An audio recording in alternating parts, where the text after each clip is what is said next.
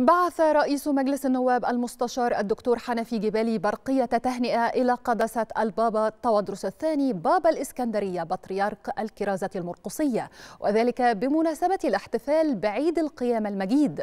وخلال البرقية أكد رئيس مجلس النواب أن عيد القيامة يجسد حقيقة الروابط القوية التي ينصهر فيها عنصري الأمة في سبيكة واحدة تظهر مدى نقاء شعب مصر وحرصه على وحدته وأصالته وتماسكه.